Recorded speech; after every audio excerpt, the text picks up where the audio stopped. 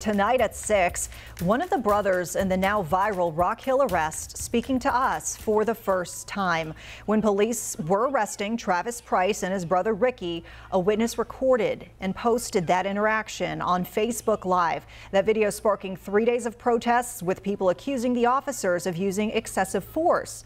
Right now, Ricky Price is still in custody on drug and gun charges. Meantime, Travis Price was charged with hindering police and is now out on bond. Today, with his attorneys by his side, he spoke for the first time since all of this happened. WCNC Charlotte's Indira Esquiva was at the news conference. She joins us live in Rock Hill. Uh, Indira, what did Travis Price say? Fred, Travis Price wants his name cleared. In fact, his attorneys demanded that the charge against him be dropped today by 5 p.m. Rock Hill police responded to that just a few minutes ago, saying basically it's not happening. Well, attorneys for Travis Price say that means they will fight this in court. I'm hurt that this happened, and um, I just really want my dignity back. This is the video posted on Facebook. It appears to show officers pushing Travis Price in the green shirt against a propane tank and punching Ricky Price. This is the surveillance footage released today. Because there was also an attempt by law enforcement to conflate Ricky and Travis. Attorneys show SLED records as proof that Travis Price had no criminal record prior to this.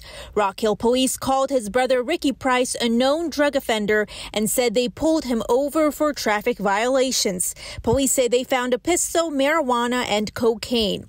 Attorney Justin Bamberg says his brother Travis Price saw him getting arrested and came over to pick up his belongings. Travis's team says they got this security video from the convenience store outside of where this happened.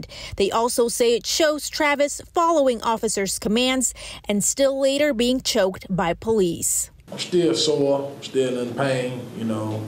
Officers paint a different narrative, calling Travis belligerent, shoving police officers, and refusing to comply with orders. The security footage and the Facebook Live video are from different vantage points, but in both videos, there are things happening off camera that can't be seen or heard. The final piece to this puzzle could be body cam footage, which has yet to be released to the public. The people up top in these agencies have to start paying more attention. If you got guys who are just scared of black guys, they don't need to be in a uniform, man.